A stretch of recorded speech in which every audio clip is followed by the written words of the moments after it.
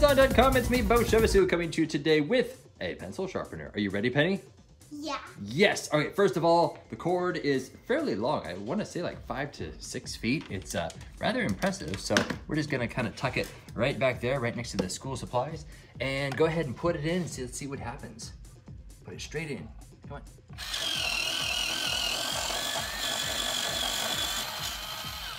Oh, that's sharp. Nicely done. And as evidenced by all the little things down there, and that's how you take it out and dump it. Lovely. And then we just slide it back in. So it does have little sticky pads on the bottom. You can see all four of them. So it doesn't quite slide around very well. Of course, it's on a, a glass surface, but let's just test it one more time.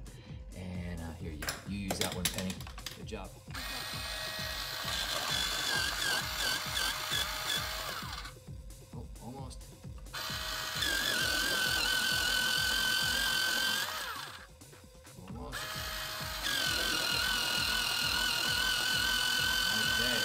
I did it. Oh, wow, wow. It's, I'm sure it, it's not. Uh, are, are you are you inserting it straight or at an angle? There it goes. Okay, so you got to put it straight in at an angle, straight down, just like that. Yeah. Oh, now you're talking.